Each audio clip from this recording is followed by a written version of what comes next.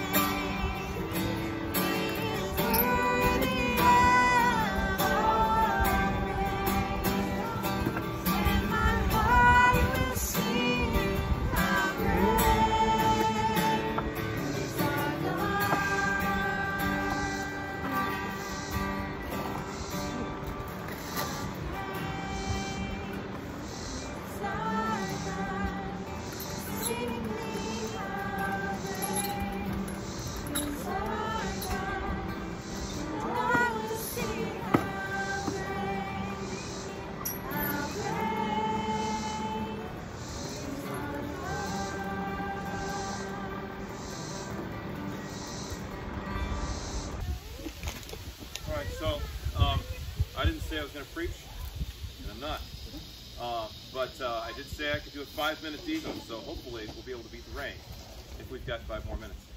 Um, and uh, the thoughts I want to give credit tonight to some of the thoughts that we're going to cover uh, to a guy named Barnabas Piper. He's John Piper's son, his other one, who isn't a, uh, an atheist uh, opponent. So um, anyway, he did a Bible study on doubt that I went through with some students, and I kind of inspired some of these thoughts. Um, if you buy my book, will be in chapter 11. So um, any, anyway, um, you know, I was thinking about um, how, you know, have you ever seen, like, you look at a wheat field before it's been cut, and when the wind comes through, and just you see the, whole, the wheat just kind of shift and, and just changes the color of the, the picture, and you see the wave of the wind going through the wheat or a grass field. Uh, and uh, that reminds me of Matthew chapter 11, when John the Baptist is in prison. And he, if we look at, at Matthew chapter 11, and I'll go ahead and read it. Starting in verse 2, it says, Now when John heard in prison about the deeds of the Christ, he sent word to his disciples and said to him, Are you the one who is to come, or shall we look for another? And Jesus answered him, Go and tell John what you hear and see. The blind receive their sight, and the lame walk, lepers are cleansed, and the deaf hear, and the dead are raised up, and the poor have good news preached to them, and blessed is the one who is not offended by me. As they went away, Jesus began to speak to the crowds concerning John. What did you go into the wilderness to see? A reed shaken by the wind? What did you go out to see? A man dressed in soft clothing? Behold, these who wear so those who wear soft clothing are in kings' houses. When did, what then did you go out to see? A prophet? Yes, I tell you, and more than a prophet. This is he of whom it is written, Behold, I send my messenger before your face, who will prepare the way before you. Truly, I say to you, among those born of women, there is arisen no one greater than John the Baptist. And uh, and he just he extols John. And, and so what we see in a moment here is we see that, that John, I mean, this is, Jesus literally just said, there is no one greater born among, like if you are human, John is up here. Okay? Like you play second fiddle to John the Baptist. But what did John say to Jesus literally moments before that speech? Are you the one? Are you the one? So John, John is in prison, and and on he's John's on death row, and he's thinking at this point in his life, did I make a mistake? Like this isn't how it's supposed to be. Like he's a little like I didn't see it going this way. Here he is. He's he is he's getting ready to lose his life, thinking that the Messiah, because he had the same idea that everybody else did, that the Messiah was going to come in a little different way. You're not supposed to be a suffering servant. You're supposed to be a conquering hero. And here I am here I am on death row. What's going on? Are you the one? And he expresses his doubt. And I think there's a few lessons that we can take from that. But before we do, I just want to I just want to throw it open and say, have you ever you ever had doubt? Have you ever dealt with doubt in your life? Have You ever had that moment where you're wondering, like, what if I'm wrong? What if what if there is no God? What, what if what if I've just blown it somehow and I've wasted all this time? Anyone ever struggle with that? Everyone ever gone through a wilderness moment where you know maybe it's just something bad happened in your life? I mean, I know in this family we've had we've seen some we've seen some trials, right? We've been through some stuff. And in the midst of that, you pray and you say, God, please, if this cup might pass, please let it go. But like Jesus, God said no. No. This is the way it's going to happen. And it's easy in the wake of tragedy. It's easy in the wake of crisis. It's easy in the, in the wake of failure and fear to, to begin to doubt. And I see, you see this with students all the time. It happens in, in anyone who's been through that, those kind of experiences. People go through divorce. People go through through uh, we we so we have suffered loss. People go through financial crisis. They lose their job. They lose their their home. They have to declare bankruptcy. People suffer all kinds of. People go through serious critical illness all the time. And in the middle of that, like John, they begin to wonder, What if? What if I got it wrong? John's on death row, and Jesus compares him to a reed swaying in the breeze. Says, Is that what you came to see? Because John isn't that. And that's what I love about this passage. That in the midst of his crisis, Jesus has John's back. Tell your tell you go back to your master. He tells the disciples of John who were sent to Jesus to go back and you tell my cousin, you tell my cousin that you have seen the signs of the Messiah. You've seen the dead raised to life. You have seen the blind given sight. You've seen the sick healed. You tell him miracles are happening. And after they've left, he, he just tells the crowd, that is the greatest man of, among men. And I think that gives us an opportunity to learn something from how John dealt with doubt and how Jesus responds in that moment. There's four things that stand out to me. The first thing is that John, when John struggled with doubt, he didn't beat himself up. That's, that's what a lot of people do. You dealing when you're dealing with doubt, it's a very common response, isn't it? We're like, man, what, there must be something wrong with me. I mean, we, see this all the time. People begin to struggle with something and they think the problem was with them and they don't want to share it then, right? They keep it inside. Like they, the first thing they do is they beat themselves up. There's something wrong with me. It's my faith. I'm the weak one. I'm the one who's failing. I'm, there's just maybe God doesn't love me after all because I can't figure this. I don't have enough faith to even just believe so wholeheartedly. Like that. I'm like I'm struggling here with even just basic belief. Maybe I'm the failure. I'm just it's just me. But John John doesn't beat himself up. We don't see that evidence in, in Scripture.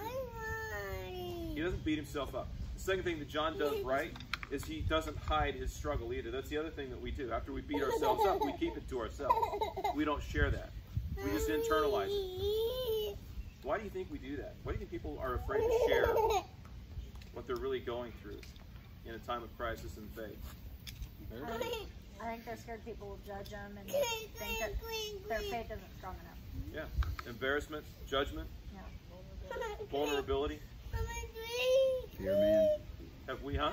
Fear man. Fear of man. Have we, uh, as, as a church, do we do that? Is it fair to say that that's a problem? Yeah. I think it's fair to say.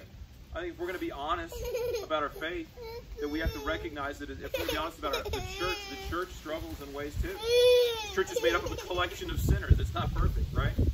And so it's natural. So we beat ourselves up, we keep it to ourselves, and John did neither of those, and neither should we. If we're dealing with doubt, or if you know somebody who's dealing with doubt, if they have the, the bravery to express it to you, even in privately, you know, there's there's a response to that as well. So we so John doesn't beat himself up. He doesn't struggle. What does he do? What does he do? He seeks the truth. John seeks answers. If doubt, if you're dealing when you're dealing with doubt, or you know somebody who is, fine. Just start start answering the question. Like go after it. Don't don't let it build up and build up and don't do something about it. Do something about it. John John was like, I'm not I'm not going down without a fight. Right? I mean, if I'm rotting on prison on death row here in prison, I'm going to do something about this. And so he seeks answers. And that's the least we can do with someone. If you know somebody or if you're dealing with it yourself, the least you can do is just I mean, just seek the truth. Go find out. Look, our faith is more than 2,000 years old. The answer is out there. You are not the first person to ask whatever question you have on your heart that you're afraid to go after. Like you're, whatever you're dealing with, I guarantee in 2,000 years, from the cross to today, somebody else dealt with. So, so know that there's an answer out there. Go look, go look for truth. And the fourth thing that, that he does is he seeks truth, but he seeks it from the source.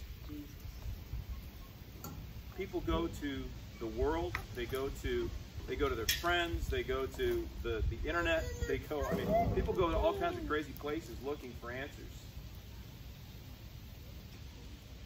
John goes to the source of all truth. He goes back to Jesus. That's where he that's where he sends his he doesn't say, hey, go ask the Pharisees. He doesn't say, hey, uh, you know, I'm in prison. Go ask, go ask Caesar. He says, go. He says, go to Jesus and ask him. Ask the man directly. So don't beat yourself up. Don't be, don't, don't be afraid to let it be known. Don't hide your struggle. Do something when it's when the question hits. Do something, and seek it from seek truth from the source. Those are the four things I see that John does in dealing with doubt. He's not a reed swaying in the breeze. You look across next time you see a field and a wave of the waves of grain in our great America, waving fields of grain, you can think back to John the Baptist and remember that John was no reed swaying in the breeze. And we don't have to be either. We can just do what he did, and you'll be okay. All right. You guys want to pray with me? We'll get out of the rain. Heavenly Father, so much. thank you so much for the example of John the Baptist. Sometimes in my own life, I feel that sense of what if, and I imagine that a lot of other people do also. Knowing that greater people than I have had to deal with doubts gives me hope. Thank you that when my salvation, my faith, excuse me, is shaken, shallow, weak, and weary, your faith in me remains steadfast and strong. Remind me to turn to you first when doubts creep into my life. You are the light even when I feel blind. Let my soul rejoice in the warmth of your glory even when my senses can't feel it. You are the God of all truth. Amen. Get out of there.